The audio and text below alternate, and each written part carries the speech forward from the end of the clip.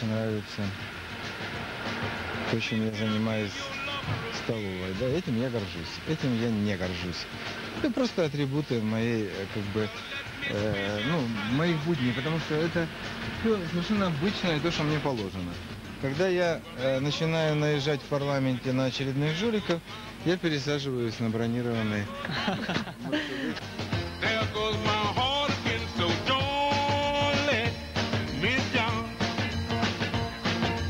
основе успеха Леонида Черновецкого лежит извечный принцип «Не начинай нового дела, пока оно тебе самому не понравится». Таким чином, український політикум отримав нового, неординарного, яскравого, харизматичного і трохи дивакуватого політика Леоніда Черновецького. А скажи, вот ты любишь э, меня больше, когда я даю конфеты или когда не даю? Скажи. Вот когда жвачку дают, ты меня больше любишь? Да. Чуть-чуть, правда?